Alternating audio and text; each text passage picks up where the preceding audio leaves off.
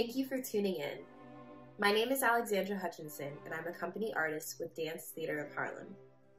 This is a conversation with the resident choreographer of DTH, Robert Garland, about his ballet New Bach, which was choreographed in 2001 to the music of Johann Sebastian Bach.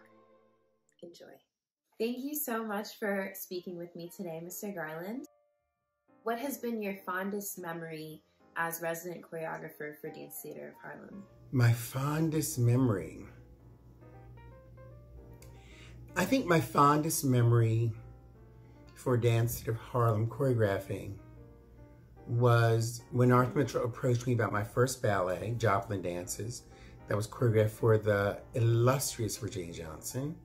Um, I was told to go to talk to a woman in a room.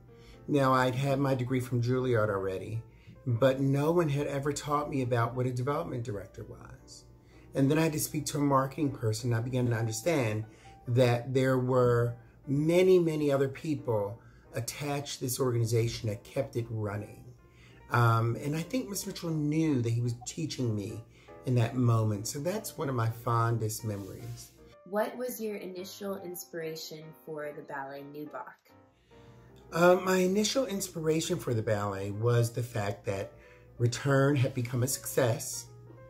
But, you know, there were haters that were like, oh my God, you know, he used, if you use James Brown and Aretha Franklin, of course it's going to be successful. Of course, you know.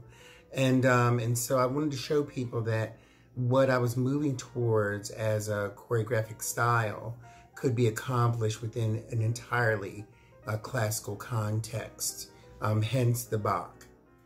One of the most important um, aspects of New Bach for me is the idea that um, we are reinventing classicism.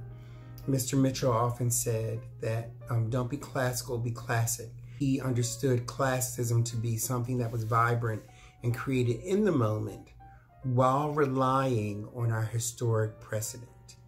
And so that is the basis and genesis of New Bach. Do you have a favorite section of New Bach? My favorite moment in the early years uh, was I had my principal dancers, Donald Williams and Tanya Weidman. And so you did the first movement happen, the second movement happened, and then to kind of break things up and bring it all home, I had two really beautiful dancers. Um, one, Paunika Jones, and i Icola Griffith to open the um, third movement. And that moment for me with those two people were was just uh, has been unrivaled because they would completely turn the whole ballet back around, taking it from the somberness of the second movement into the third. So that's one of my favorite uh, moments.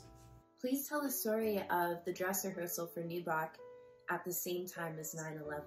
Uh, the technical rehearsal for New Bach had been scheduled. And so we met at Dance of Harlem, I think it's 7.30 in the morning. Uh, we were to drive out to Purchase College to uh, do the lighting and the tech rehearsal, as we call them, where we check the lighting and the costumes and the choreography. Right. And on the way there, um, we were riding over a, a, a, a, bridge, and one of our dancers uh, said, uh, Orlando Pagan, had a radio at the time. And we said, we were like, look over there, and we saw this smoke coming from a building. And Orlando was like, no, you guys, is really serious. And so at that moment, we all began to understand that one plane had already flown in to the World Trade Center, literally over our heads because we were going over water. Um, we got to purchase, and everyone was riveted around a television the tech crew, the dancers, everyone. And so we gathered around, and the rehearsal was canceled, and we literally had to walk back to New York from the Bronx which was um, just an eerie, eerie feeling. What is the ultimate takeaway that you would hope for the audience to have after seeing this ballet? The ultimate takeaway is the idea that there are things that sometimes people do not think go well together, even to this day. Um, I, at this moment, right now, people are understanding that flesh tone tights and shoes for women of color maybe is a good thing you know, when the woman that designed the costumes for my ballet New Bach had been doing that already for 20 years for Dance Theatre of Harlem.